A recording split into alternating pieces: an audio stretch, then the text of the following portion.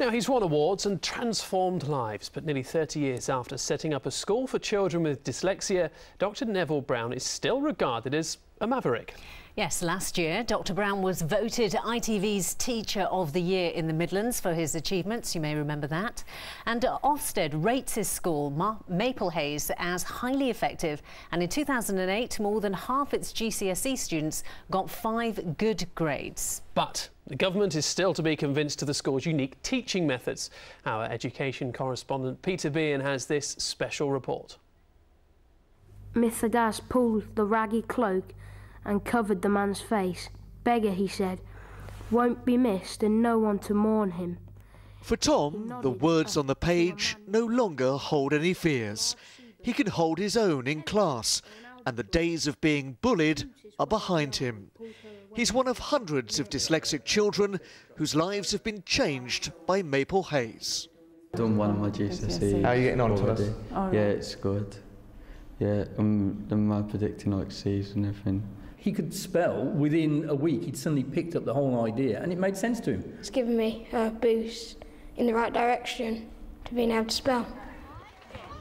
The price of failing dyslexic children can be high. Many leave school disaffected and with low self-esteem. It's estimated four out of ten prisoners have dyslexia. Those are the children that I, I am very concerned about and that I fight for. Let's have a look at this word. Dr Neville Brown is the founder of Maple Hayes School in Staffordshire. He came up with a revolutionary way of teaching pupils to read and write. It uses pictures or icons to represent parts of words. For example, a clock going backwards represents the word ending ed, used to show the past tense. This curly squiggle, conveying the idea of movement, represents ing. It's unique to Maple Hayes. You won't find teaching like this anywhere else in Britain. Now, since the 1970s, children have been taught to read and write using phonics, which means the sounds in a word. So say for the word cat, k, a, t makes cat. But of course, for dyslexic, that has severe limitations, especially when you get to a word like worked, where it doesn't spell the way it sounds. Now there's a problem there because it sounds like it's a T on the end. But in reality, what we're trying to do is say that in the past somebody did some work. So our trick is just give a little visual reference. We want something that means back in the past. It won't be a T, it'll be two letters, ED. It becomes worked. And worked it has for Fiona Lockhart. She used to feel stupid at school now she's off to college after taking nine GCSEs. Sort of you suddenly sort of get everything and you can actually read and like you have the confidence to read in class and you can write and everything and like on the straight line with no random letters floating anywhere. Hello there. Dr Brown, I'm sorry to interrupt your lesson, but I'm very pleased to tell you that you have been voted as the Midlands Pride of Britain Teacher of the Year. Congratulations. Take your trophy. Last year, Dr Neville Brown won public acclaim for his achievements. Uh, overwhelmed, actually. Yes. But despite such accolades, the educational establishment refuses to embrace Dr Brown's methods.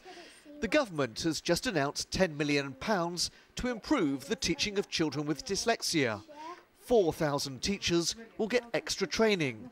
But the way children learn won't change. It's still phonics, phonics, phonics. So if you're clearly doing so well and it seems to work for your pupils, why do you think it is the government just dismisses you out of hand? Because what this requires is not more money thrown at it and more teachers. What we've got to say is, what should the teachers be teaching? It lies with teaching methods, not with the teachers though. Give them the right tools, they will do it. The Children's Secretary, Ed Balls, refused to talk to us about Maple Hayes methods, nor would any other government minister. It leaves the school ploughing a lonely furrow wondering why the outside world can't see the bigger picture. Peter Bean in Lichfield for Central Tonight.